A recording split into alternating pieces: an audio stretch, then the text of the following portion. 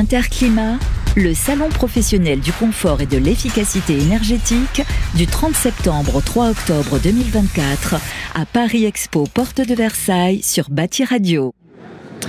Et on se retrouve ici sur le salon Interclimat Pavillon 3, Porte de Versailles. C'est la deuxième journée.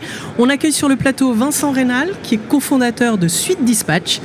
Euh, expliquez-nous un peu ce qu'est Suite Dispatch.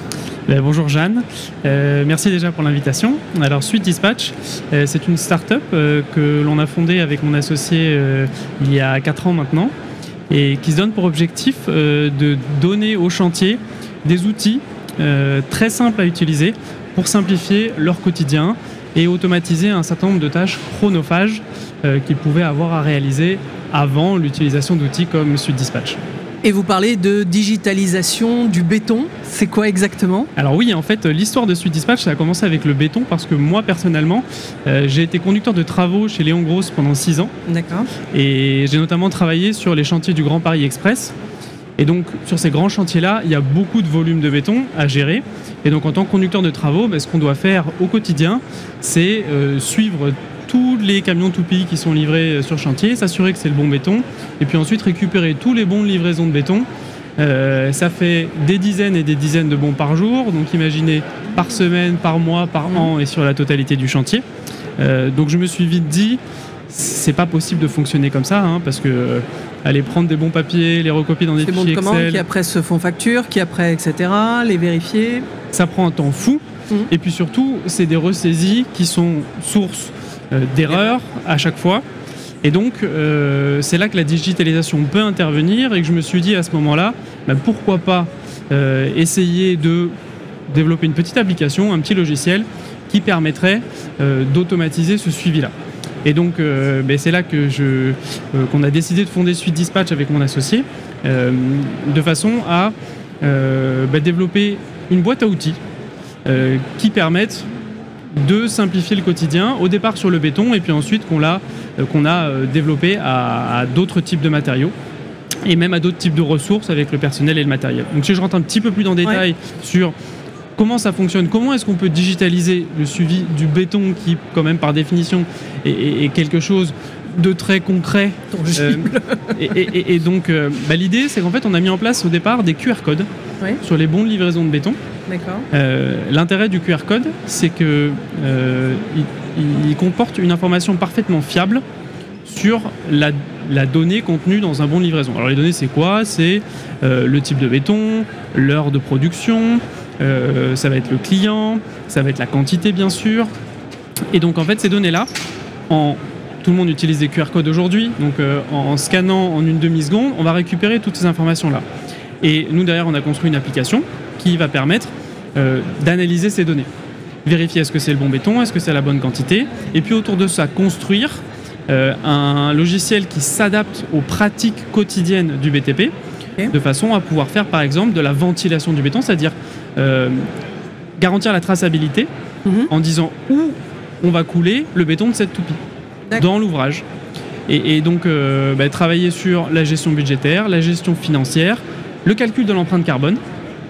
Euh, qui est immédiate du coup. Voilà, qui est immédiate parce qu'on a récupéré des données fiables immédiatement qu'on n'a plus besoin de ressaisir.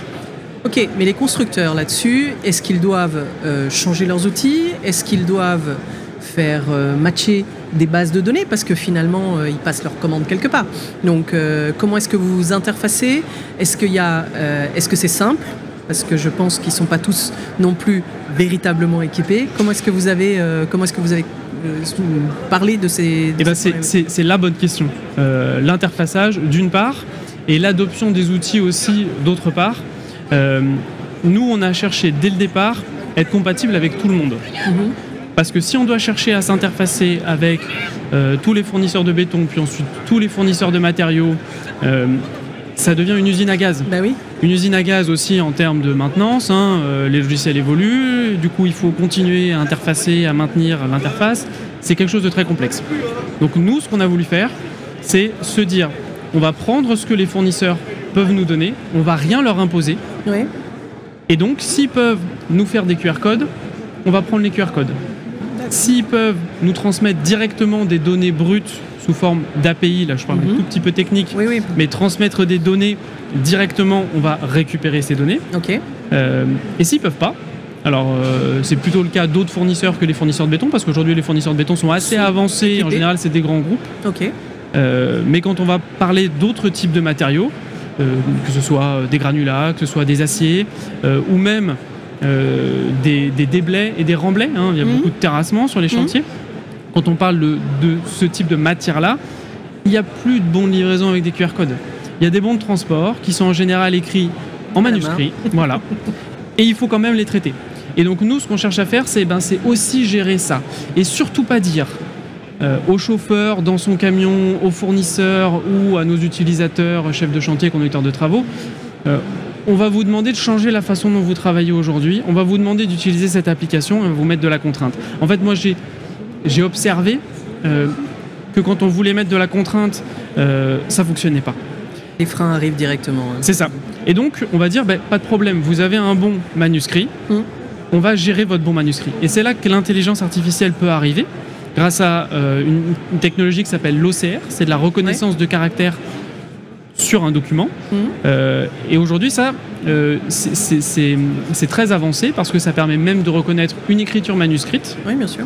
Euh, sans forcément savoir à l'avance euh, où il va écrire la quantité, euh, mm. où il va écrire le type de camion et, sa destination, etc. Ça n'a pas besoin d'être codifié. Mais ça, il y a 4 ans, ça n'existait pas. Et ça, il y a 4 ans, ça n'existait pas. Donc c'est pour ça que nous, quand on a commencé, eh ben, on est plutôt allé sur des choses qui, étaient dans l'air du temps il y a 4 ans, les QR mm. codes, etc.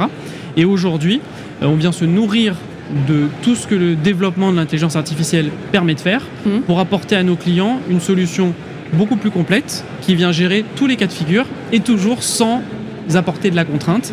Et en fait, on veut apporter de la contrainte ni aux fournisseurs. En fait, les fournisseurs ne sont pas les utilisateurs de nos solutions et on leur demande rien du tout, mais ni non plus à nos utilisateurs.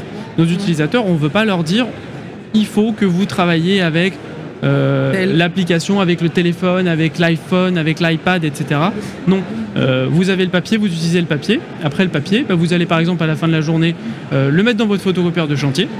Ça va tout scanner, c'est envoyé automatiquement à Suite Dispatch. Et à partir de là, tout va être traité, tout va être digitalisé. Et bien sûr, on va retrouver sur une plateforme digitale euh, toutes les données et on va pouvoir ensuite les traiter pour faire le suivi financier, budgétaire, carbone dont j'ai parlé tout à l'heure. Suivi financier, budgétaire, carbone, euh, est-ce que du coup vous avez un impact sur les erreurs? Et, qu'est-ce que ça fait économiser réellement Le ROI derrière est quand même euh, la, première, la première attraction pour, Alors c'est une très bonne question de mesurer quantitativement quel est l'apport de ce type d'outil. L'apport, il est sur plein de plans différents. Euh, il y a un apport déjà en gain de temps. Ça, c'est immédiat. Euh, scanner un QR code ou un bon, ça va beaucoup plus vite et donc on gagne du temps. Le temps, c'est de l'argent et quand on dégage du temps, euh, on, peut faire autre chose. Ensuite, concrètement au niveau des données et la fiabilité des données, on a fait des enquêtes auprès de nos clients pour mesurer la différence entre ce qu'ils faisaient avant et ce qu'ils font aujourd'hui. Euh, et ces enquêtes montrent qu'il bah, y a euh, à peu près entre 5 et 10% c'est énorme, de données qui sont du coup redressées, c'est-à-dire qu'on on, remplit de données sans erreur alors qu'on avait des erreurs avant, mhm. euh, des erreurs qui étaient liées à bah, une mauvaise saisie dans une case d'un Excel, on a tiré une case mhm. sans faire exprès, etc. Et puis il y a une autre source de gain, c'est aussi une source de gain financier parce que le suivi financier euh, permet aussi de contrôler les factures des fournisseurs. Oui. Et donc, pour nos clients, euh, ça permet de détecter euh, des surfacturations, par exemple, de la part des fournisseurs. Et quand on a une facture de béton qui, à la fin du mois, fait 4 pages avec des tonnes et des tonnes d'informations, c'est hyper compliqué de savoir si c'est bon ou pas. Il y a plein de paramètres, il y a plein de plus-values, etc. et bien là, directement, l'application va dire euh, ben, voilà le montant que vous devriez payer à la fin du mois avec le détail, euh, ce qui permet ben, déjà euh, d'identifier des erreurs s'il y en a, mais il ne faut pas penser que c'est uniquement au bénéfice de l'entreprise générale, mais c'est aussi au bénéfice du fournisseur. Pourquoi? Parce que le fournisseur, il va être payé plus vite. Bien sûr. puisque les, le contrôle, le, contrôle va être fait beaucoup plus rapidement. Et donc, il y a aussi un gain côté fournisseur au moment de la vérification de la facture qui va être beaucoup plus rapide.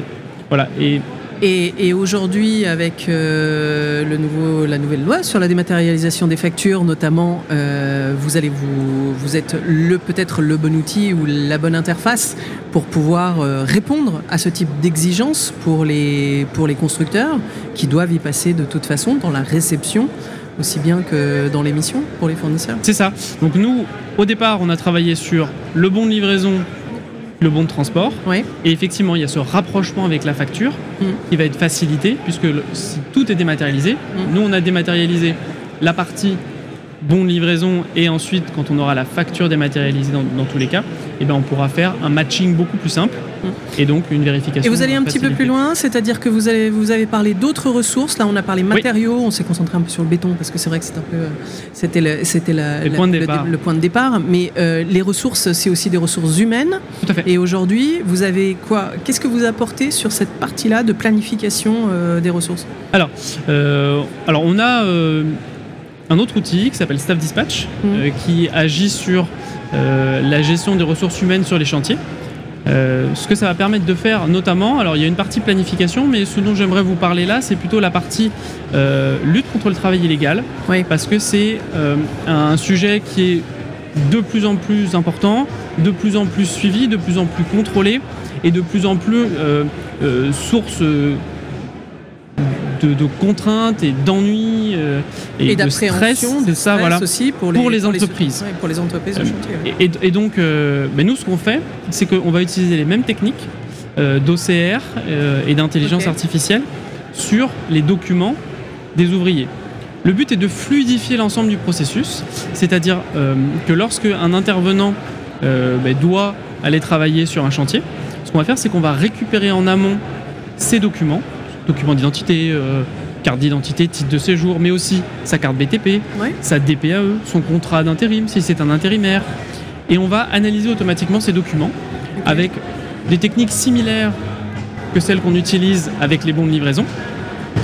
Et ce qui fait que euh, instantanément, en à peu près euh, une dizaine de secondes, mmh. après avoir déposé les documents, on va arriver à dire si le salarié, euh, il est parfaitement en règle. Euh, et il peut intervenir sur le chantier. L'intérêt, c'est quoi? C'est qu'en fait, vu que c'est un outil collaboratif, euh, c'est directement les sous-traitants, les entreprises d'intérim qui vont déposer les documents et constituer en fait ce registre du personnel pour le chantier. Mmh. la vérification, elle est automatisée. Et lorsque la personne va arriver sur le chantier, et ben directement, on saura si elle a le droit de travailler ou pas et on pourra ensuite l'accompagner dans bah, tout son processus d'accueil et de travail. Mais vous n'avez pas cette partie de vérification d'identité, de conformité des pièces d'identité que vous allez vérifier euh, Alors si, euh, on fait également de la vérification d'authenticité des pièces. D'accord. Et alors ça, c'est des technologies encore plus complexes. Oui, bien sûr. Parce qu'il ne s'agit pas juste de lire les informations et de détecter que euh, prénom, nom, date de naissance, etc. Il s'agit de vérifier si, par exemple, une carte d'identité italienne euh, elle est bien conforme euh, à ce que doit être une carte d'identité italienne. Comment on fait ça à partir d'une image euh, ben En fait, on va aller regarder si le nom, le prénom, il est écrit au bon endroit sur la carte, avec la bonne police, s'il y a bien tous les éléments de sécurité. Hein. vous avez des éléments de sécurité sur les pièces d'identité. et donc, on vérifie tous ces éléments-là. Il y a beaucoup de contrôles de cohérence entre différentes informations qui sont présentes. Et en fait, pour résumer, euh, le document d'identité, il va être comparé à une immense, à une immense banque de, documents d'identité vrais et faux, euh, de, plusieurs dizaines de milliers de documents. Mmh. Euh, et c'est ça qui va permettre de dire si c'est un vrai document ou si c'est un faux document. Alors, il faut quand même pas s'imaginer que euh, c'est en absolu, il fiable à 100% dans la mesure où c'est une analyse d'image. Ça n'est mm. pas une analyse avec le document qu'on a en physique ou avec dans des ses mains. registres qui sont des registres euh, étatiques et exactement. civils. Mais euh, en fait, c'est suffisant pour le devoir de vigilance que le constructeur a à avoir vis-à-vis de ses employés ou des sous-traitants qu'il fait travailler. Et aujourd'hui, quels sont vos principaux clients Alors aujourd'hui, nos principaux clients, c'était initialement les grands groupes de BTP. Ouais. Euh, mais en fait, petit à petit, euh, ben, on essaye de, on va dire, descendre dans la taille des entreprises. Mhm. alors pourquoi c'était les grands groupes initialement? Bah, Parce que c'est eux qui ont peut-être perçu un petit peu plus tôt, qui avaient plus les moyens de s'approprier ce type d'outils. Mhm. mais on le voit maintenant, hein, petit à petit, bah, on a de plus en plus de clients qui sont des PME. D'accord. Et, qui des artisans. et qui utilisent nos outils. Pas encore des artisans, euh, mais voilà, euh, on, va vers là. Après, ce sont des typologies quand même de clients différents, différents bien sûr, et, un artisan. des typologies de chantiers différentes, des, typologies, de matériaux différents. Et donc nous, euh, on cherche à adapter nos solutions à nos clients. On ne cherche pas à dire on a une solution et on la balance à tout le monde. on a en fait la possibilité de. C'est à l'inverse du digital, ça. C'est à l'inverse du numérique. Oui, mais c'est en plein dans le BTP par contre. D'accord. Et, donc euh, euh, c'est ça qu'on cherche à faire en combinant la diversité du BTP. Mmh. Euh, et des outils digitaux. Pour moi, ça multiplie pas les coûts et les maintenances? Alors, ça multiplie bien sûr les coûts, mais en même temps, c'est la seule façon que ça marche. si on veut mettre du digital sur le chantier, nous, c'est notre credo, essayer de démocratiser le digital sur le chantier. Il ne faut pas qu'on impose des outils qui sont les mêmes pour tout le monde. Il faut qu'on regarde un chantier de génie civil, c'est pas la même chose qu'un chantier de bâtiment. Mmh. Euh, et puis euh, s'adresser à une entreprise générale, c'est pas la même chose que s'adresser à une PME qui fait euh, de l'électricité. Bien sûr. Donc, on a des outils qui vont s'adapter avec un paramétrage possible et qu'on construit en permanence de façon à les rendre de plus en plus flexibles et de plus en plus adaptés à l'ensemble des entreprises. Quels sont les, quel est pour vous, cette fois un peu de prospective, le gros challenge du BTP de 2024 On finit 2024, mais 2025 bah, Moi, je dirais c'est s'approprier ces outils. Euh, c'est vraiment ça les challenges parce qu'aujourd'hui, euh, l'intelligence artificielle, par exemple, est arrivée très vite. Mmh. Euh, il y a deux ans, on n'en parlait quasiment pas. et aujourd'hui, il ne faut pas que le BTP se dise je dois utiliser l'intelligence artificielle parce que c'est dans l'air du temps. Mmh. Il faut savoir pourquoi on l'utilise, il faut l'utiliser à bon escient. Euh, dire j'utilise ChatGPT dans mon quotidien euh, ou Mistral AI, euh, ça suffit pas. Mhm. donc pour moi, le, challenge, c'est de s'approprier ces technologies-là et d'en faire des choses utiles pour le BTP et pas juste dans son rapport annuel pouvoir dire je fais l'intelligence artificielle. qui sont sur l'intelligence En quoi c'est vraiment utile? Pour moi, c'est ça le vrai challenge. Et c'est ça qu'on essaye de faire, nous, avec nos outils, bah, trouver quels sont les, les vrais usages et en fait inventer des nouveaux usages aussi euh, pour l'intelligence artificielle. Est-ce qu'il n'y a pas des métiers qui, est-ce qu'il a pas des métiers qui évoluent au sein du BTP parce que du coup euh, le conducteur de chantier, eh ben il a peut-être pas le même métier dans, dans, un an ou dans deux ans. Et je suis persuadé que les métiers doivent évoluer. Euh, ça ne veut pas dire qu'il faut faire table rase du passé, surtout pas. Non. Au contraire, il faut prendre tout ce qu'on a aujourd'hui et, rajouter ben, ce qui est bien, ce qui marche, ce qui marche concrètement au quotidien et donc effectivement, ça fait, ça fait faire évoluer euh, les métiers du BTP, que ce soit conducteur de travaux, mais aussi euh, dans des métiers euh, autres dans le BTP. Hein. C'est pas le seul. Est-ce qu'il y en a quelques-uns qui, qui sont voués à disparaître? Peut-être. je pense que l'évolution des métiers de façon générale fait que des métiers disparaîtront. Mais dans les métiers du BTP, je pense pas beaucoup parce que les métiers du BTP sont foncièrement euh, liés à l'humain. Et donc il, faut, il faudra toujours de l'humain derrière. On ne pourra pas tout robotiser, on ne pourra pas tout digitaliser. Et digitaliser, ça ne veut surtout pas dire enlever de l'humain. Non, on est d'accord. Euh, c'est apporter des outils qui vont permettre aux humains de se concentrer sur où est leur valeur ajoutée.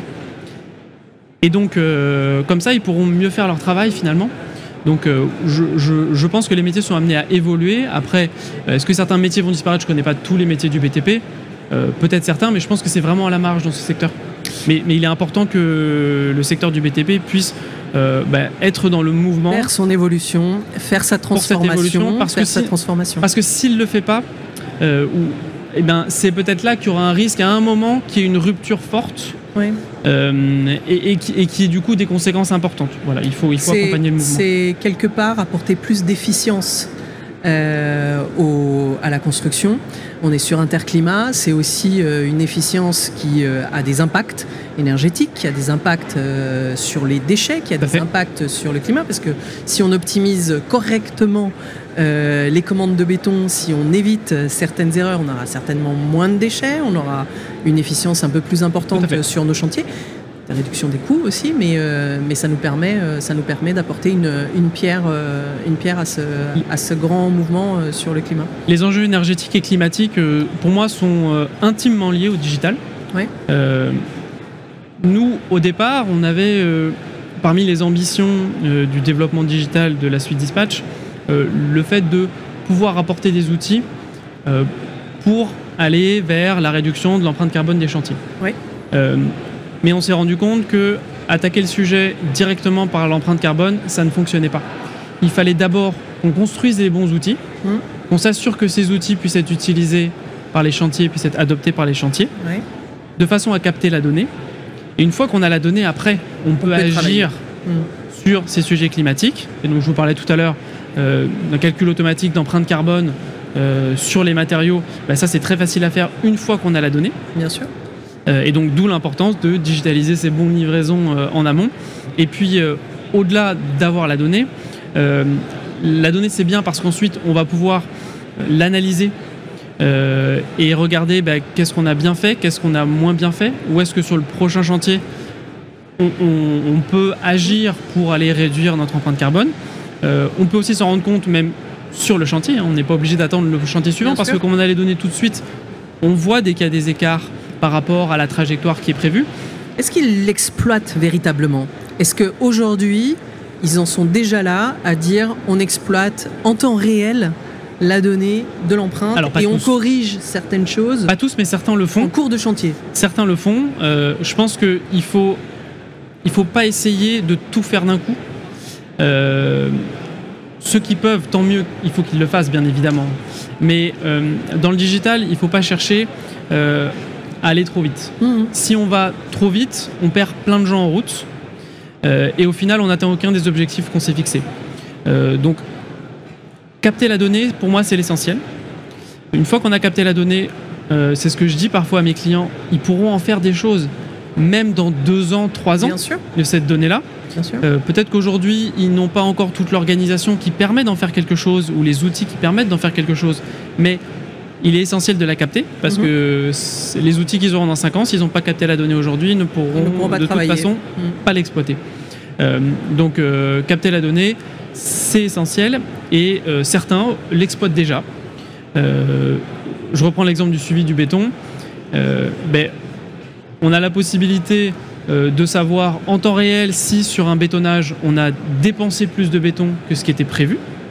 Euh, et, donc euh, très rapidement d'analyser les causes, essayer de comprendre bah, où est passé ce béton euh, et, de tout de suite se corriger pour le jour suivant. Donc certains font ça, voilà. Mais moi je ne je, je, pousse pas forcément mes clients à absolument utiliser toutes les possibilités qu'offre la suite dispatch. Je leur dis capter la donnée et ensuite vous verrez quand vous serez prêt vous pourrez en faire ce que vous voulez.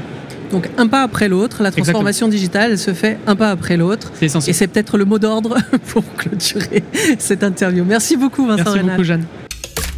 Interclimat, le salon professionnel du confort et de l'efficacité énergétique du 30 septembre au 3 octobre 2024 à Paris Expo Porte de Versailles sur Bâti Radio.